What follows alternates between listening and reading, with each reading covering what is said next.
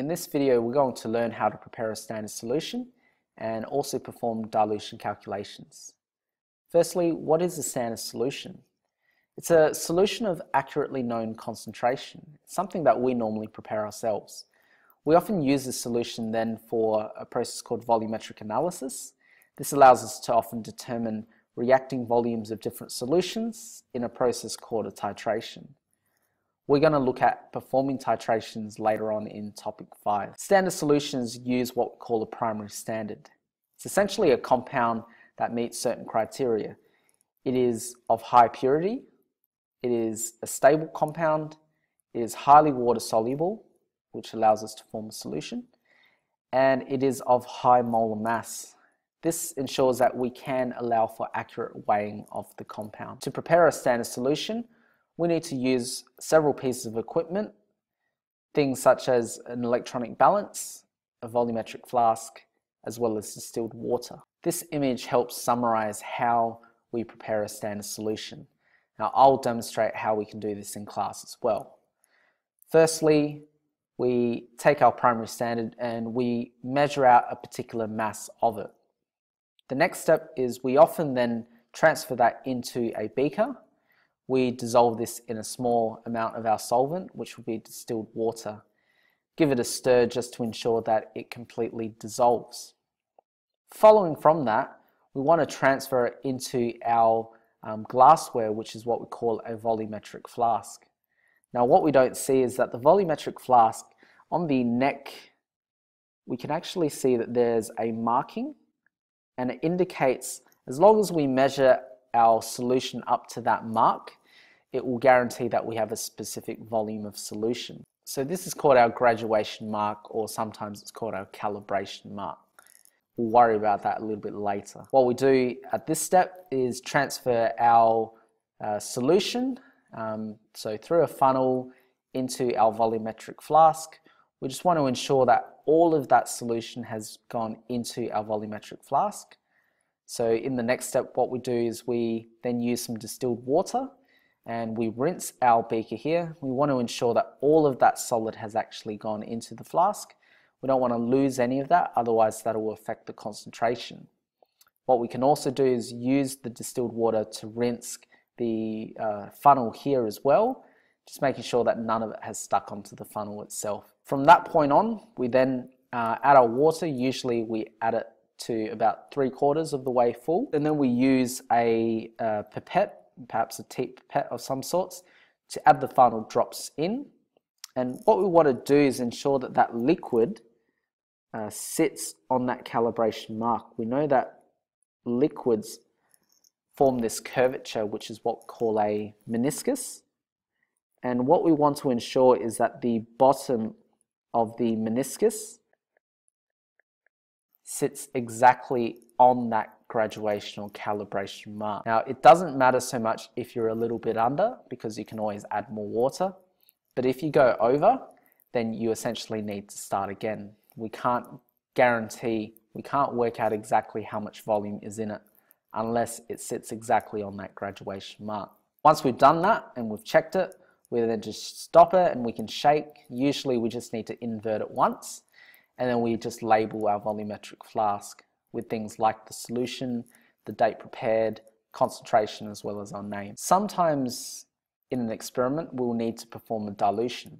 This is usually necessary when a stock solution is too concentrated and it's not suitable for lab use or for consumption. Normally, a specific volume of uh, stock solution of known concentration is transferred to prepare a diluted solution. This image shows you how you can carry out a dilution. So imagine that we've got our stock solution here, it's just far too concentrated. We want to dilute it, so we often transfer a specific volume using another piece of glassware called a volumetric pipette. It itself contains this so-called graduation or calibration mark. So we just want to transfer a specific volume of our stock solution. We are now going to transfer that into a clean volumetric flask. And from that point on, we just want to add uh, the remaining volume uh, with distilled water. So this will help dilute our stock solution. And we can see there it's diluted by the light color. and again fill it up to the graduation mark. What we have to understand is that when we transfer our uh, stock solution into our diluted solution, the number of moles does not change. So in other words, the number of moles of our stock solution is equal to the number of moles of our diluted solution. We know that the number of moles can be calculated by using this formula N equals C times V. So we can therefore say that the concentration times the volume of the stock solution we transferred is equal to the concentration and volume of our diluted solution. This is normally written as this formula here, C1V1 is equal to C2V2. We can use this formula to solve for any of the above variables. So let's just have a look at that. First example, determine the volume required to dilute 0.200 litres of a 15.0 molar uh, sodium hydroxide solution to obtain a 3.00 molar sodium hydroxide solution. Let's break down this problem um, by writing down what information we have. Keep in mind this question is trying to work out the volume that's required to dilute this stock solution with that volume to obtain that concentration. So we're going to summarize the information we have. For our stock solution, we have a concentration of 15.0 molar or moles per liter. For our diluted solution, we've got a concentration of 3.00 molar. The volume of our stock solution we're using is uh, 0.2 litres or 200 mils. We need to know what the final volume will be in our diluted solution. Because the number of moles in our stock and diluted solution are going to be the same, we can use the formula C1V1 equals C2V2. We're going to then rearrange this to solve for V2. So V2 is equal to C1 times V1 divided by C2. We've got all of these values here, so we just need to substitute them in. 15.0 times 0.2 divided by 3, and we get an answer of 1.00 litres. In example 2, uh, we want to determine the volume of a 2.00 molar stock solution of NaCl that's required to prepare 250.0 mils of a 0.500 molar concentration. Let's go ahead and list the information that's presented. So stock solution and diluted solution. We know we've got a concentration of 2.00 molar for our stock. We want to dilute that to 0.500 molar for our NaCl. We're trying to work out how much of our stock solution we need, but we know we end up with a volume of 250.0 mils. We can actually keep that volume in mils, so I'm going to do that and we're going to then work out what V1 is in mils as well. So using the formula C1V1 equals C2V2, we need to solve for V1. We rearrange the equation and we get C2V2 over C1.